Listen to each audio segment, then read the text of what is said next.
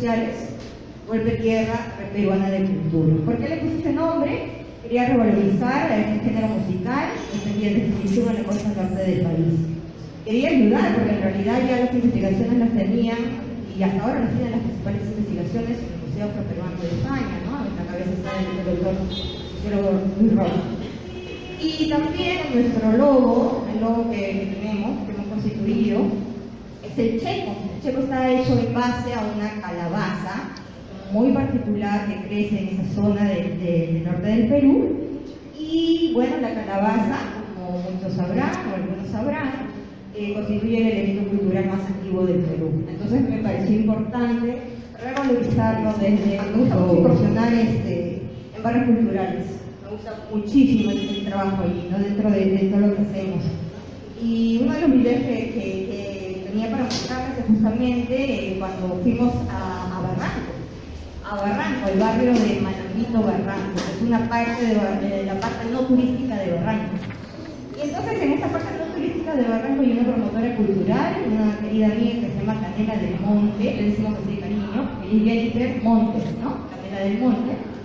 Y ella es una promotores, gestoras culturales, eh, que, han, participado como, una de las principales promotoras de los carnavales en Barranco.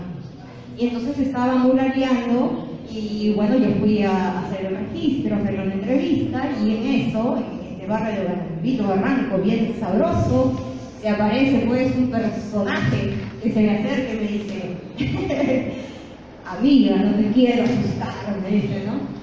Pero guarda tu cámara, porque acá toda la gente ya está casado y no, no es que quiera presentarte, pero, pero si guardas tu cámara, acá ahorita mismo te quitan con tu propia pintura y te la quitan.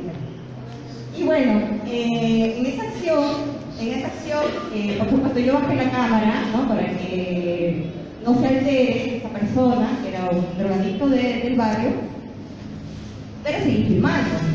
Entonces, eh, seguí filmando y este, eh, esas cuestiones que nos suceden a las mujeres, no, no, quiero decir que a los hombres no les suceda, pero hoy día estamos hablando del género, ¿no? de, sobre las mujeres, esas cuestiones que nos suceden a las mujeres, pues eh, son cosas que, que, hay que afrontar. Y aquí quiero eh, tocar un punto que me parece, y, es el único punto del cual voy a hablar, de la inseguridad ciudadana. Me parece importante tocar la cuestión de la inseguridad ciudadana, porque claro, nosotros conocemos la inseguridad ciudadana como un tema que atañe a todos, hombres y mujeres por igual, pero en realidad, detrás de ello, eh, se esconden muchas más cosas, ¿no? Y en, realidad, no es igual para hombres y mujeres. No es igual. Yo hace poco estaba leyendo un artículo eh, que se titulaba Inseguridad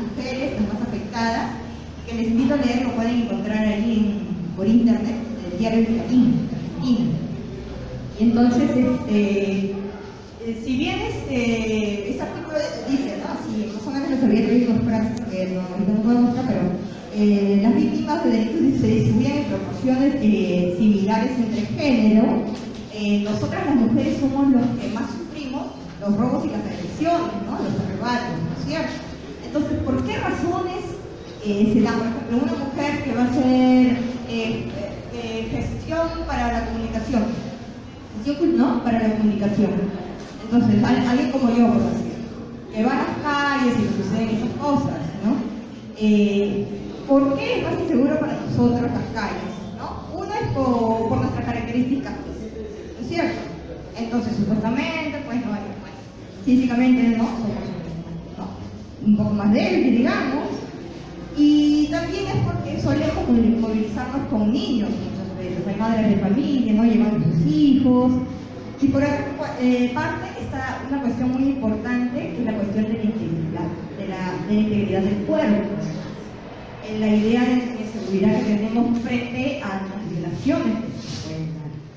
Entonces, eh, estar eh, como gestoras culturales, como comunicadoras de estamos expuestas permanentemente a agresiones frente a un sistema conservador y machista. Que por supuesto eh, queremos cambiar, ¿no? Queremos cambiar. creo que desde, eh, no solo yo, creo que la mayoría de personas que estamos eh, participando en esto, creo que desde la cultura podemos hacer un gran cambio.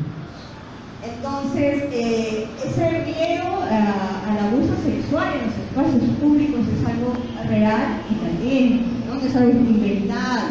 Ahora sí hay, por estadísticas, todo que lo, que lo pueden este, avalar, pero todos sabemos que es algo real.